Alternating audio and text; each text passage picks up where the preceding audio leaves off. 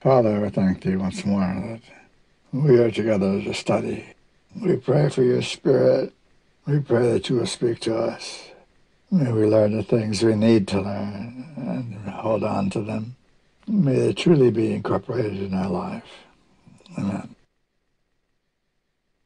Okay, we'll read verses 8 and 9. Upon the sun and power was given unto him to scorch men. Great Controversy 628. The prophets thus describe the condition of the earth at this fearful time. The land mourneth because the harvest of the field is perished. All the trees of the field are withered because joy is withered away from the sons of men. The seed is rotten under their clods, the garners are laid desolate. How do the beasts groan? The herds of cattle are perplexed because they have no pasture. The rivers of water are dried up and the fire hath devoured the pastures of the wilderness. Songs of the temple shall be howling in the day, saith the Lord God. There shall be many dead bodies in every place. They shall cast them forth with silence. Well, it doesn't sound like a very good time. Early writings, page 289. The wrath of God in the seven last plagues has been visited upon the inhabitants of the earth, causing them to gnaw their tongues for pain and to curse God. The false shepherds had been, this, been the signal objects of Jehovah's wrath. Their eyes had consumed away in their sockets, in their holes, and their tongues in their mouths while they stood upon their feet. After the saints had been delivered by the voice of God, the wicked multitude turned their rage upon one another. The earth seemed to be deluged with blood, and dead bodies were from one end of it to the other. Well, that's the whole world.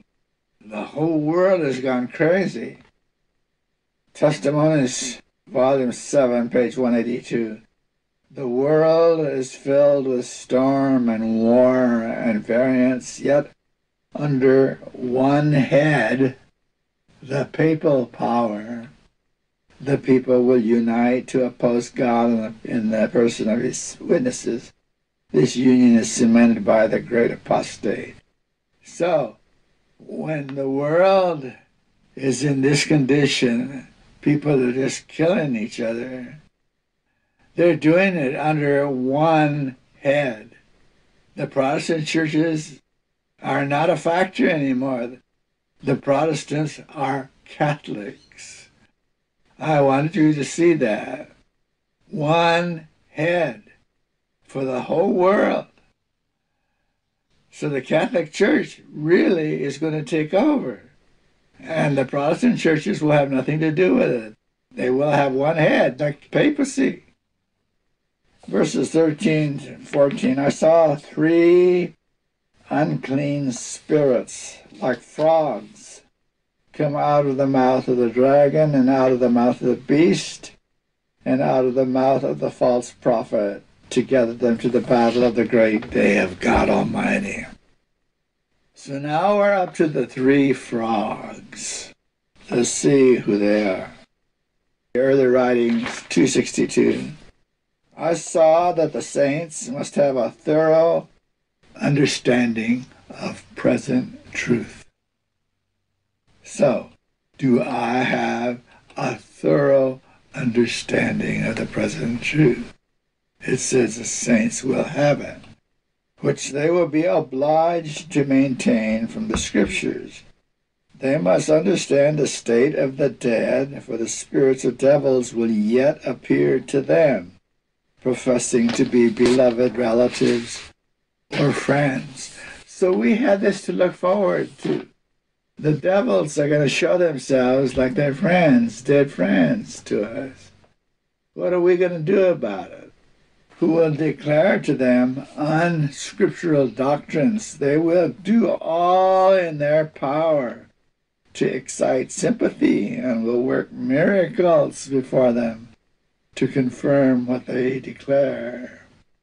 So the devil will be working miracles and they will look and talk just like our relatives did.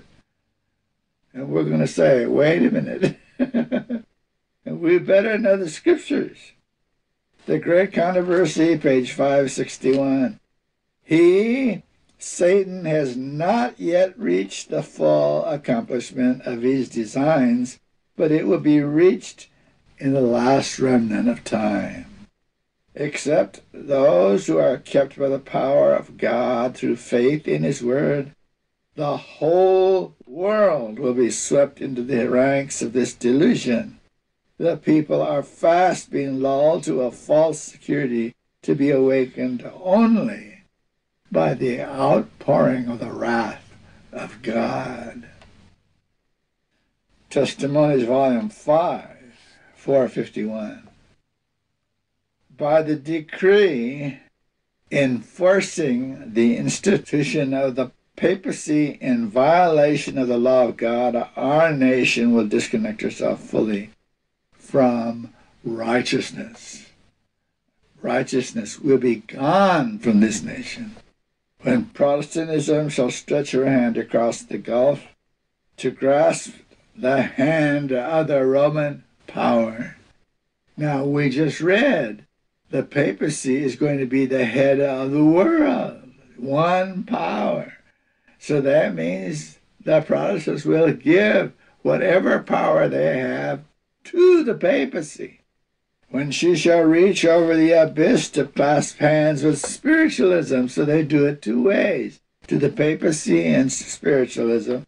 When under the influence of this threefold union, our country shall repudiate every principle of its constitution as a Protestant and Republican nation. There will be no more Protestants. They will all be Catholics and there will be no more government such as we have, and shall make provision for the propagation of papal falsehoods and delusions, then we may know that the time has come for the marvelous working of Satan, and the end is near.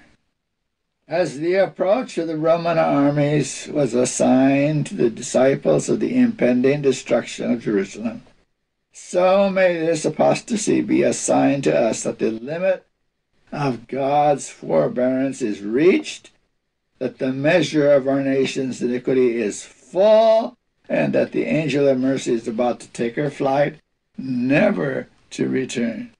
So we know what to look for. At least we should. It's all written down for us. Great Controversy 624.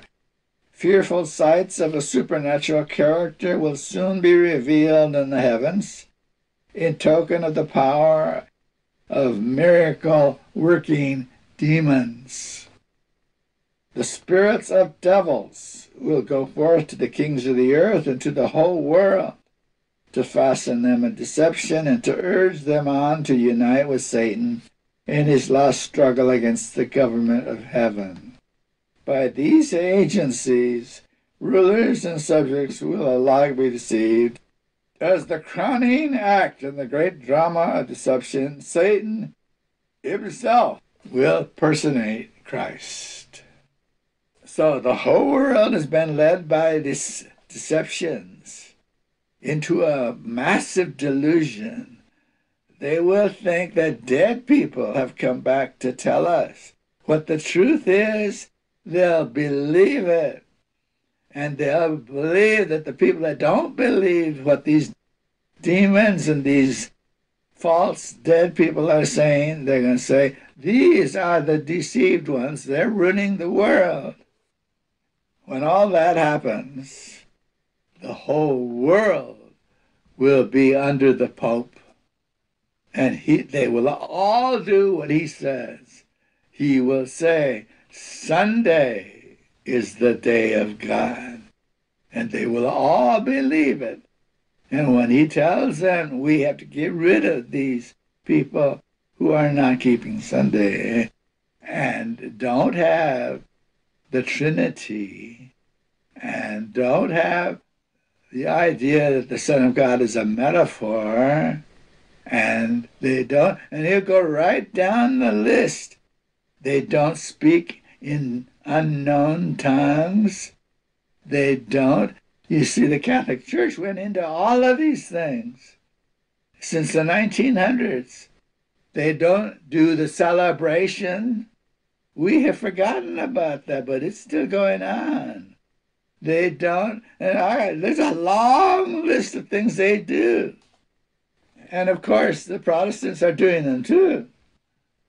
Verse 16 Into a place called in the Hebrew tongue Armageddon. Testimonies, Volume 6, 406. The battle of Armageddon is soon to be fought. He on whose vesture is written the name King of Kings, Lord of Lords, is soon to lead forth the armies of heaven. Evil angels unite their powers with the evil men.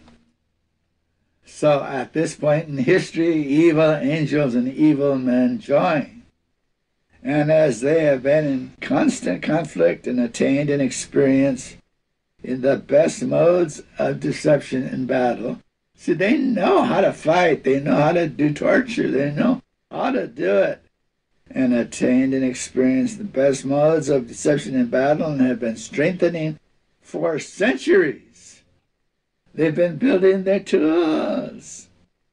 They will not yield the last great final contest without a desperate struggle. All the world will be on one side or the other side of the question. The Battle of Armageddon will be fought, and that day must find none of us sleeping. Trumpet after trumpet is to be sounded.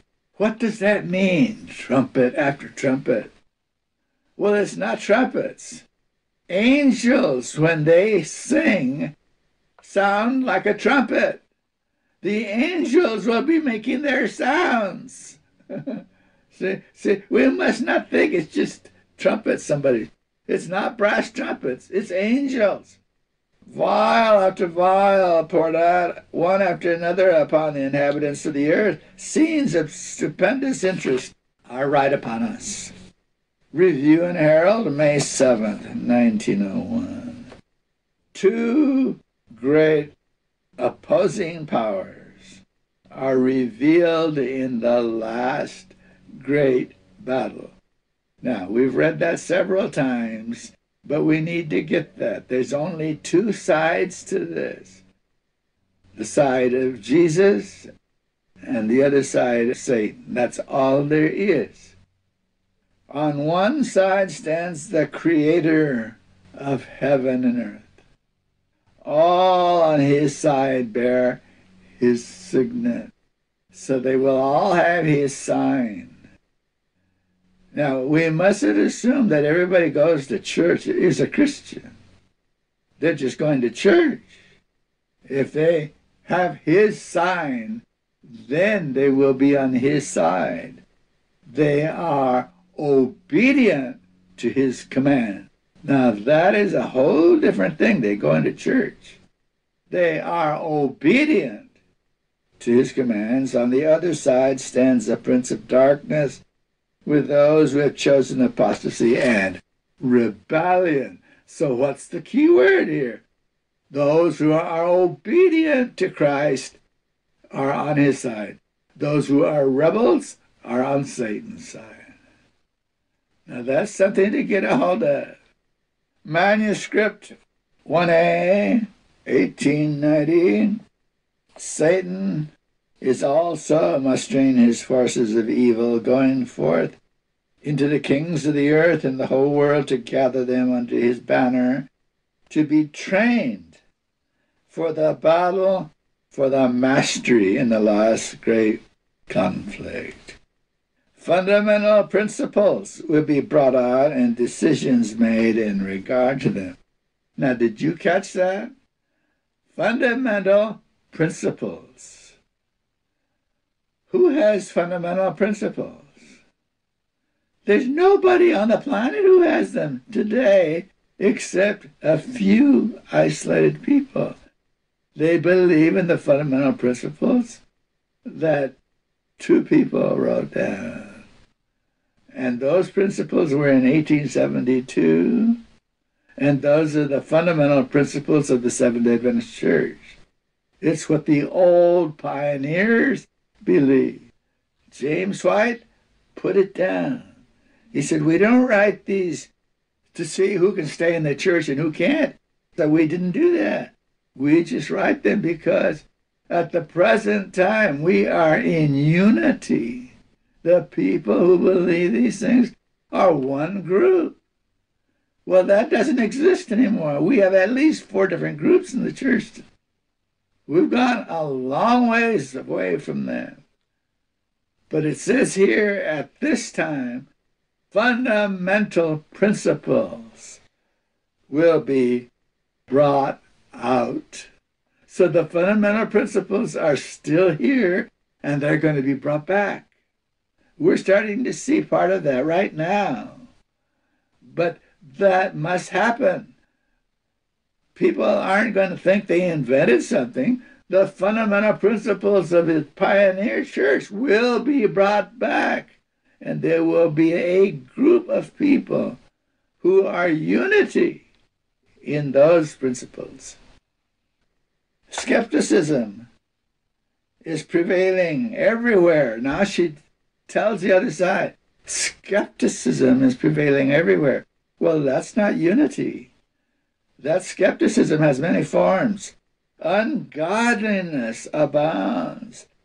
The faith of the individual, that's one at a time. The individual members of the church would be tested as though there were not another person in the world. So a whole church is not going to be tested. That's not going to happen. An individual will be tested as though he's the only person in the world. And if he stays faithful, he will become one of the 144,000. Manuscript 175, 1899. We need to study the outpouring out of the seventh vial. The powers of evil will not yield up the conflict without a struggle, but providence has a part to act in the battle of Armageddon, when the earth is lighted with the glory of the angel of Revelation 18. The religious elements, good and evil, will awake from slumber, and the armies of the living God will take the field. Now, she makes it sound like God's army is the same size as Satan's army, but that's not true. God's army is a small army. Satan's army is this covers the whole world, and they think, well, we've got the numbers, we'll get them.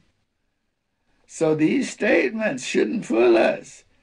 It's not an equal battle at all, except that Jesus and his small army is going to win.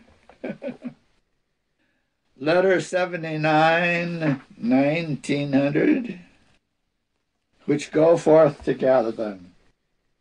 All who have not the Spirit of truth will unite under the leadership of satanic agencies. In other words, they will believe the Catholic Church.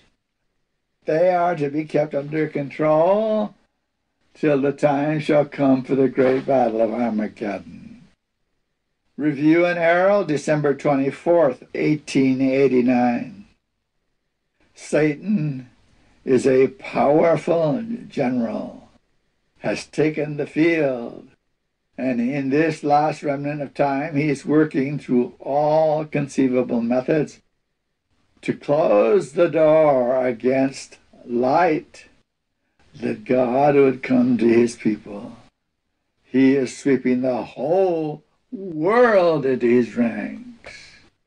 Now, what is the sign of that light?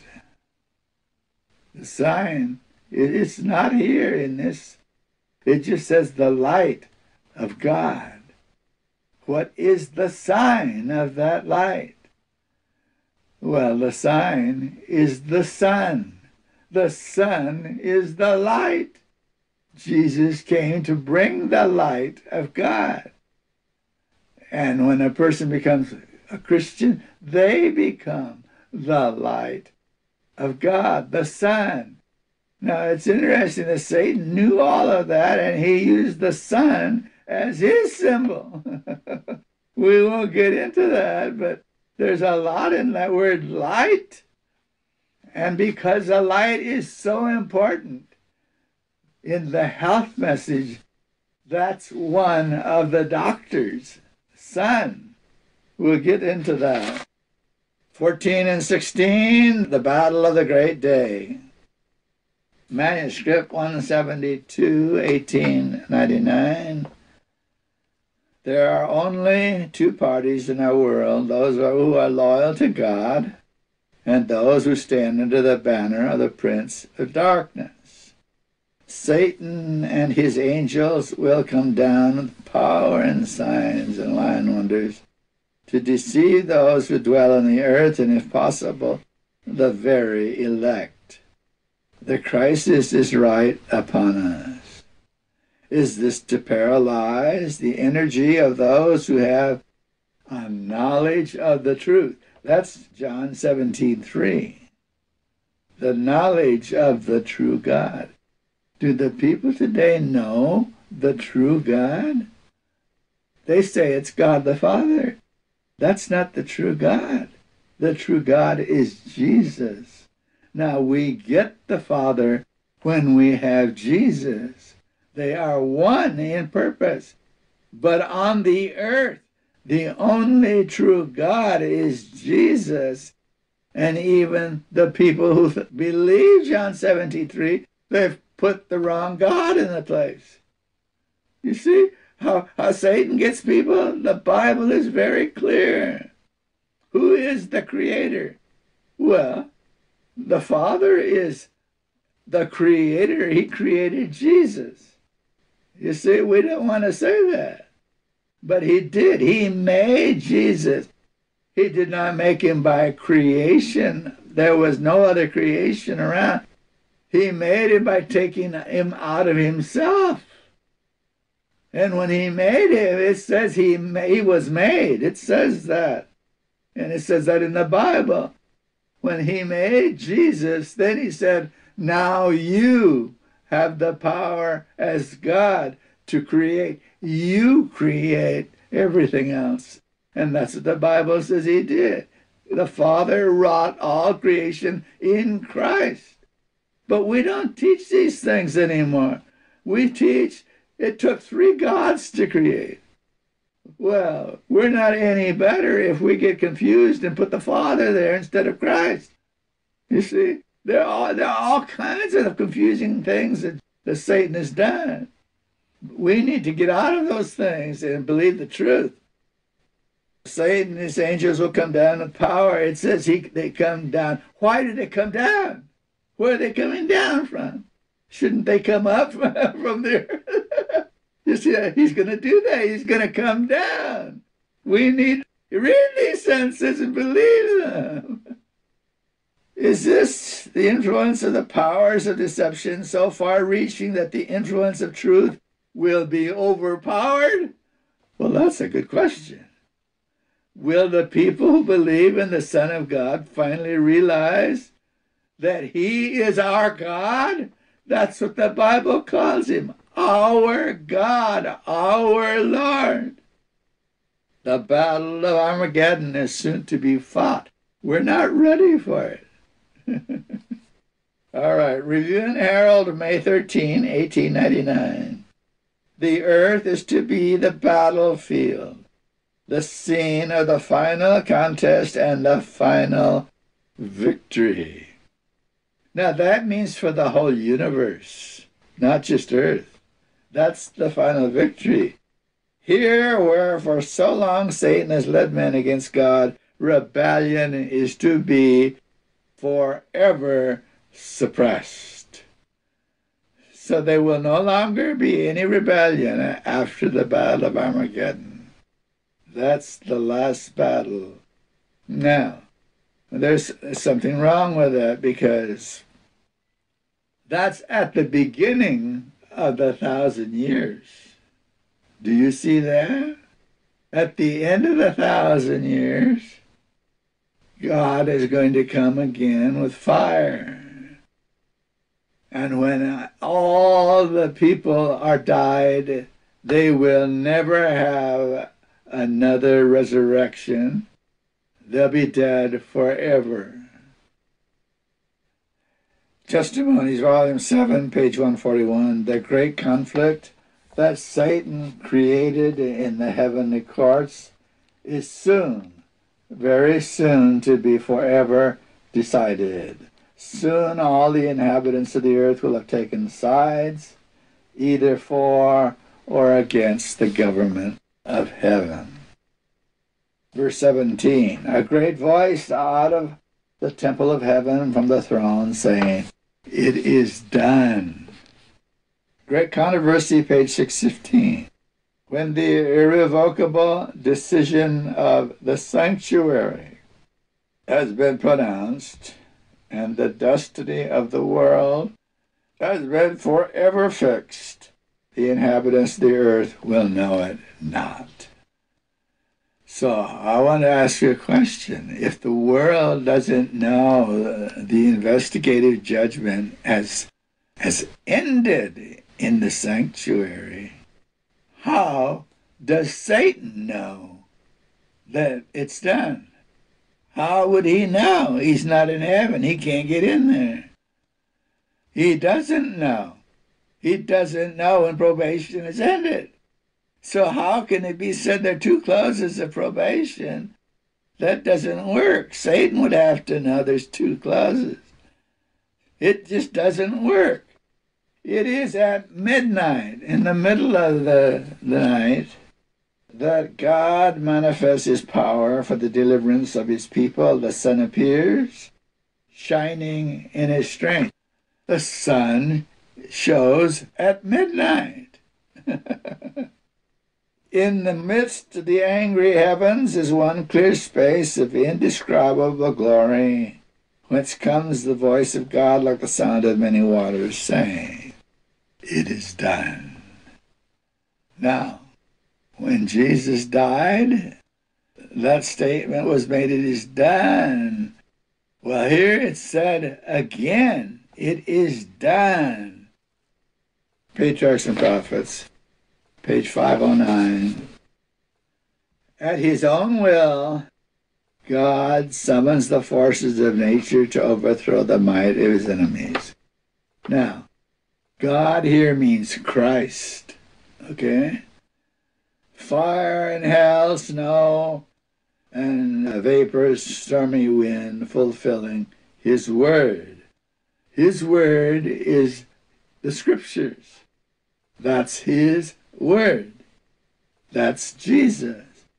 We are told of a great battle to take place in the closing scenes of Earth's history when Jehovah hath opened his armory.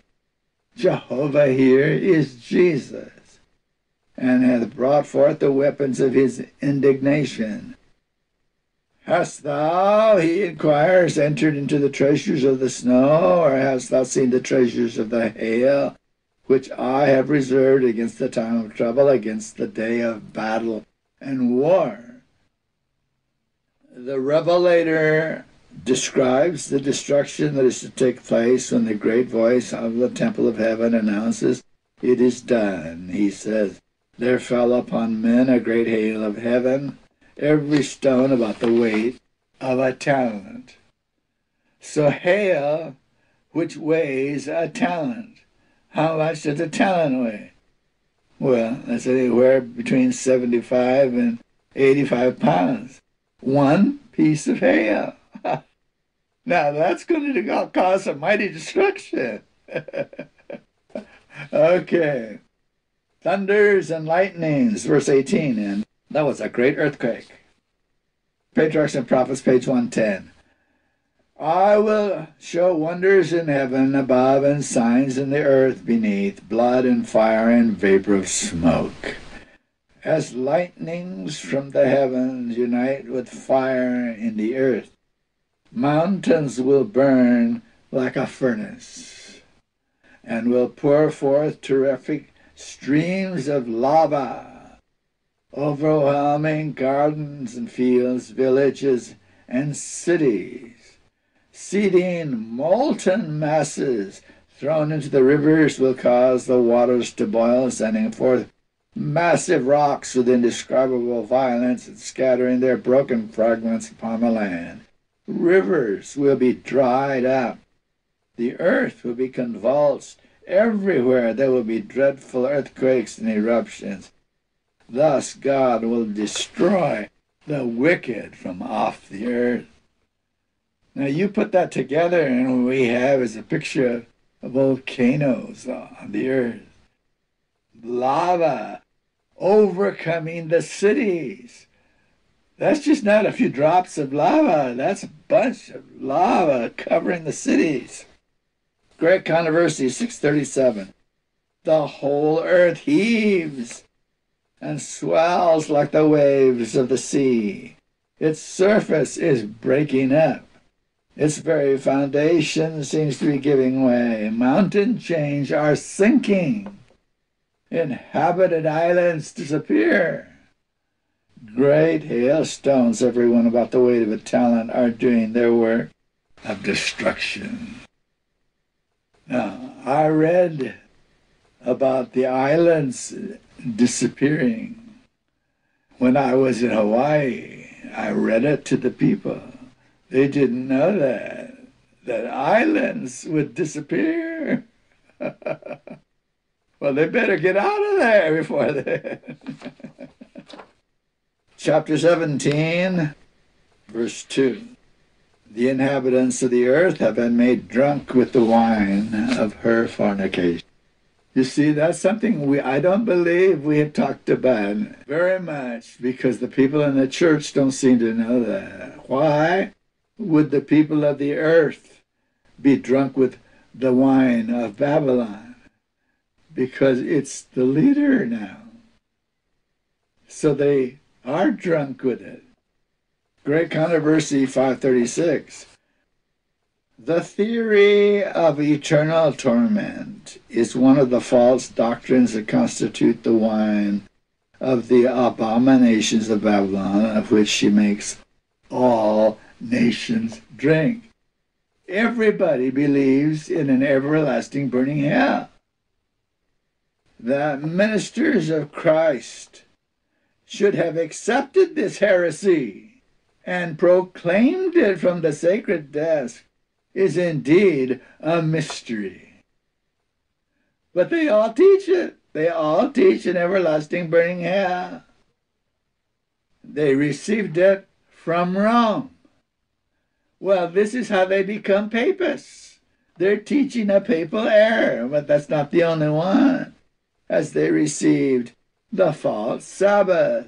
True, it has been taught by great and good men. Can you imagine that? Great good men taught it. But the light on this subject has not come to them as it has come to us. So here's a little group of people, 50 Adventists, who wouldn't believe that lie. But it came to great and good men who died that way. So what is that? they all believe it. Great Controversy 382. Babylon is said to be the mother of the harlots. Well, it's true. There it is. By her daughters, must be symbolized churches that cling to her doctrines. You mean you're a daughter of Babylon if you believe her doctrines? What is the Trinity? That's a doctrine of Babylon. And traditions and follow her example of sacrificing the truth and the approval of God in order to form an awful alliance with the world. Well, I don't call the church Babylon, but maybe I could call it a daughter of Babylon and read it. because I can't escape that. Ellen White asks the question Are we part of the family of Babylon now? When she was alive, she saw it.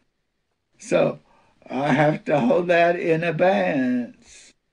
Letter 232, 1899.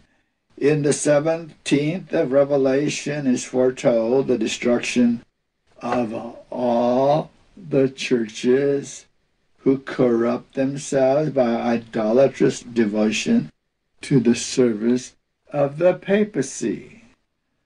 You see, they're Catholics and they don't know it. They give devotion. And she said, all the churches that do that. Well, if all really means all, that also means the Seventh day Adventist Church. We are devoted to their Trinity. We are devoted to their lots of things. Those who have drunk the wine of the wrath of her fornication. Thus is represented the papal power, which with all deceivableness of unrighteousness by outside attraction and gorgeous display deceives all nations promising them, as did Satan, our first parents, all good to those who receive its mark, and all harm to those who oppose its fallacies.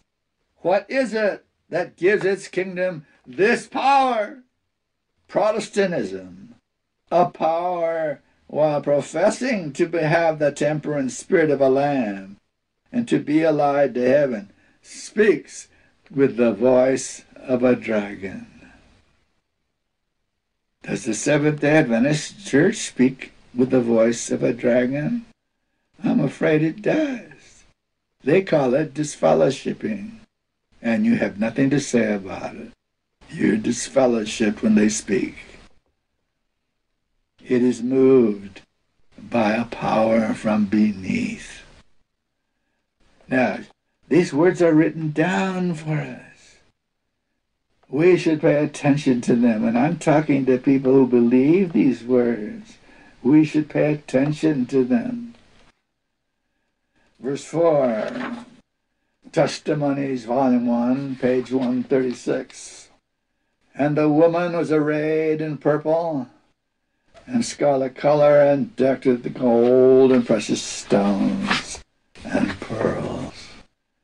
Yet the very ones that profess to be washed by the blood of Jesus spilled for them can dress up and decorate their poor mortal bodies and dare profess to be followers of the holy self-denying humble pattern. Well, uh, when I get into the dress reform, maybe we'll read this one again. Oh, that all could see this as God sees it and showed it to me. It seemed too much for me to bear to hear the anguish of soul that I felt as I beheld it. Said the angel, God's people are peculiar. That's what God says. God's people are peculiar. Such he is purifying unto himself.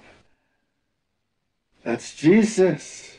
Jesus is purifying himself, a people, to himself.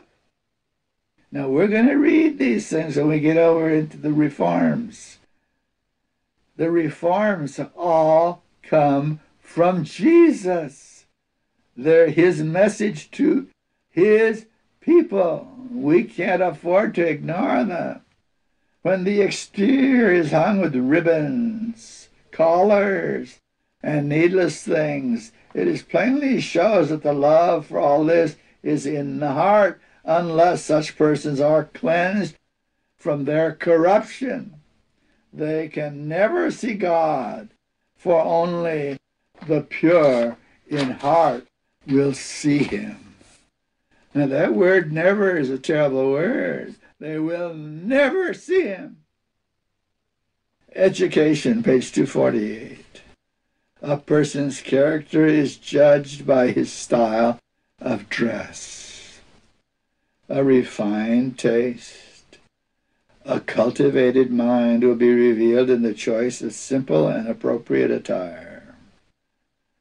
Chaste simplicity in dress, when united with a modesty of demeanor, will go far towards surrounding a young woman with the atmosphere of sacred reserve, which will be to her a shield from a thousand perils. So she's talking in particular to women here, but it includes men. When women put on dainty little ribbons and things like that, and wear short dresses instead of dresses that cover her legs, and doesn't wear anything on her sleeves at all. These things all mount up. That makes you a worldling. But today the church doesn't even talk about it.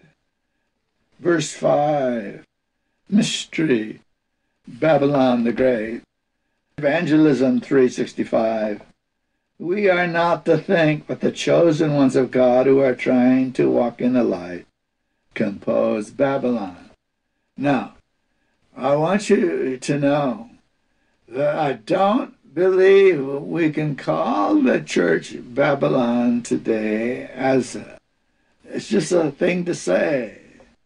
It doesn't mean it isn't. We just can't say it. But there comes a time in history when it becomes Babylon. And we don't know when that is. But somebody will know it's happened. Babylon has been fostering poisonous doctrines, the wine of error. That's one of the signs of Babylon. And we can't be playing a game forever. It's got to happen. We must eventually get there and say, well, they're teaching these various errors that's in Babylon. What else can we call it? Verse 14 These shall make war with the Lamb, and the Lamb shall overcome them. Acts of the Apostles 371. The heart of the true minister is filled with an intense longing to save souls. That should be the only thing that a minister has in him with intense longing. Time and strength are spent. Toilsome effort is not shunned, for others must hear the truths that wrought in his own soul such gladness peace and joy. Well, I want to tell you, a minister that's looking forward to the day when he no longer has to work and he's a retired minister, paid minister, paid to live, and he's looking forward to it. I'm sorry. There's something wrong with that. No minister should feel that. With invitations and pleadings mingled with the assurance of God's love, he seeks to win souls to Jesus, and in heaven he's numbered among those who are called and chosen and faithful. That's another word for obedient. Manuscript 24, 1891. There will be a universal bond of union. Did you hear the word universal? A universal bond of union, one great harmony, a confederacy of Satan's forces. So, this universal bond of unity, this great harmony, is for Satan with Satan. Thus is manifested the same arbitrary, oppressive power against religious liberty, freedom to worship God according to the dictates of conscience as we manifested by the papacy, a church that says you can't worship God the way you decide, is under the papacy. When in the past it persecuted those who dared to refuse to conform with the religious rites and ceremonies of Romanism. And that's why we're doing it. The reason we tell people today they are persecuted and we can get away with it is because we will not follow papal persecution. What is the Trinity? That's papal. What is the metaphor Son of God? That's papal. What is? Go down the long list. And all of it is papal. And we follow a great deal of it. We it, it seems like, oh no, we keep the Sabbath. The rest of it doesn't matter. Oh, wait a minute. Are we keeping the Sabbath? I think we should look at that. In the warfare to be waged in the last days, they will be united in opposition to God's people, all the corrupt powers that have apostatized from the allegiance to the law of God. Now, we claim to keep the law of God, but I think it's just a claim. In this warfare, the Sabbath of the fourth commandment will be the great point at issue, for in the Sabbath commandment, the great lawgiver identifies himself, not themselves, himself as the creator of the heavens and the earth. Jesus is the creator. We don't teach that. If we believe Jesus is the creator, you can be disfellowshipped. I wonder what's left of the Adventist church. What do we really teach that God teaches? We're playing some sort of a horrible game, and it's going to catch us.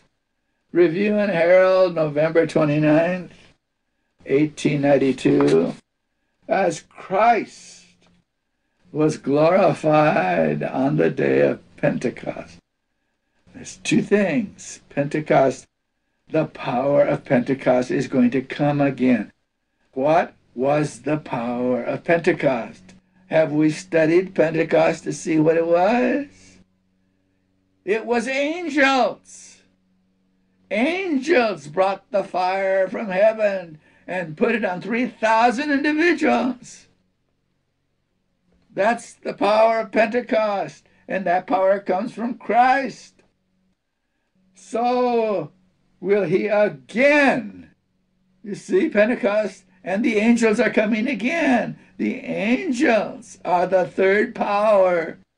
Be glorified in the closing work of the gospel when he shall prepare a people to stand the final test the angels will bring the power of Pentecost, the power of Jesus, so they stand the final test in the closing conflict of the great controversy. So it's the power of Pentecost. It's not the power of the Holy Spirit. It's the power of Jesus and the angels. Verse 15 The waters which thou sawest where the horse sits are peoples, multitudes, and nations and tongues. Winds are a symbol of strife. The four winds of heaven striving upon the great sea represent the terrible scenes of conquest and revolution by which kingdoms have attained to power. Great Controversy 440.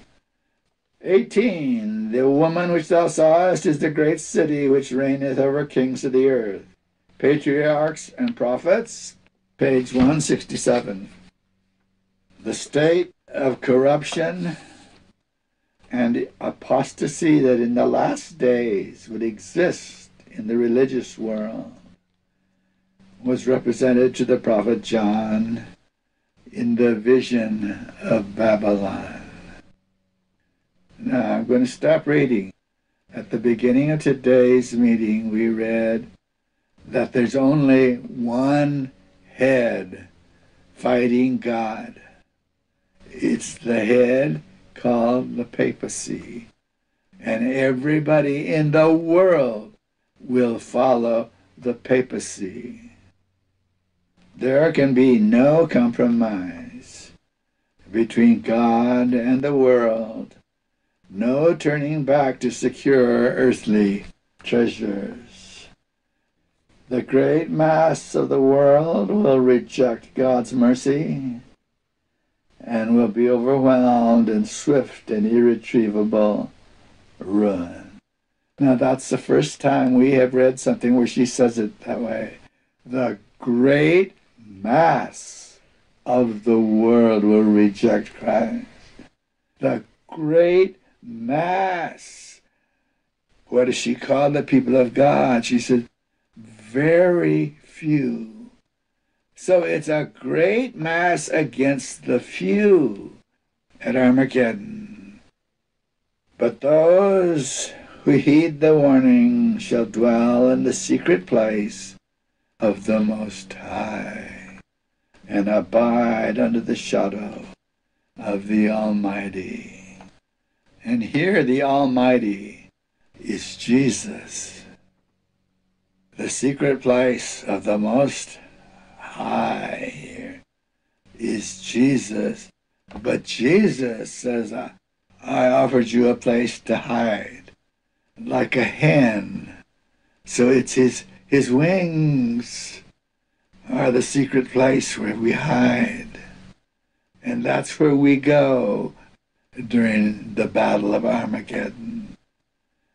There are many more things we could have read, but we want to continue. We want to finish this series. I think we'll end with that for today. We'll go to chapter 18. I don't think chapter 18 has been understood either. We'll get into that with some good statements. Okay. Father, thank you. You are our Father. We thank you that you're revealing all these things to us. There are things we read, but somebody read them to us and told us wrong things about them, and we have learned many wrong things. Let us hear them from you and let us hear them correctly and see we've been deceived. Then let us understand how to live the truth, how to give up things we thought we needed, and live only for you. We thank you for guiding us.